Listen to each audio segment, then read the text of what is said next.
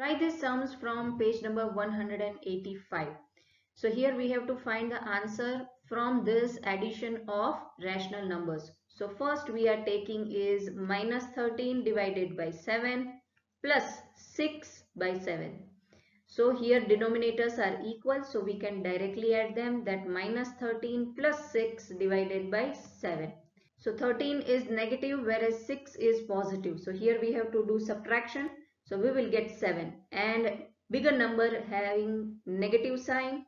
So this is going to be negative. Minus 7 divided by 7. So we will get 1 and that is going to be minus. Then second. 19 divided by 5 plus minus 7 divided by 5. So here denominators are equal so we can directly add them. So 19 plus minus 7 divided by 5.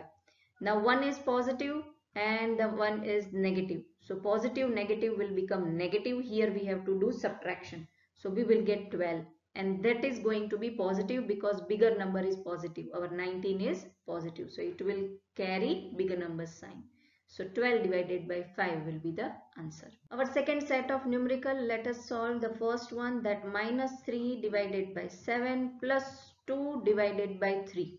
Here we have to take LCM. Our LCM is 7 into 3 equals to 21. So minus 3 into 3 divided by 7 into 3 as we are multiplying above and below with 3 because we have to convert our denominator in terms of 21 plus 2 into 7 and 3 into 7 as we are converting this into 21.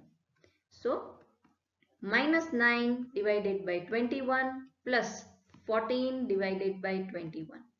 So I can write like minus 19 plus 14 divided by 21.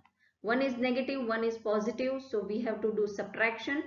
So our answer here is 5 and that is going to be positive because 14 is bigger and it has positive sign. So 5 divided by 21 is going to be our answer. Then second numerical. It is minus 5 divided by 6 plus minus 3 divided by 11. So our LCM is 6 into 11 equals to 66. So we have to convert this denominator in terms of 66. Minus 5 divided by 6 we are multiplying with 11 above and below plus minus 3 divided by 11 we are multiplying with 6 above and below.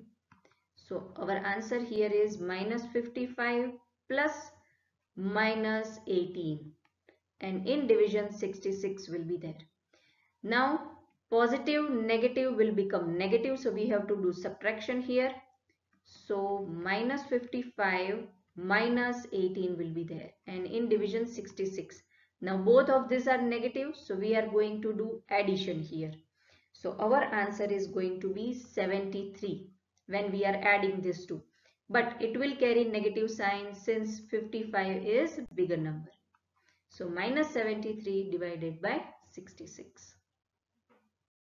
So thank you for watching and learning with us. If you have any doubt, please comment down below. I'll see you in next video. Till then, keep learning, keep sharing. And don't forget to subscribe, learn yourself.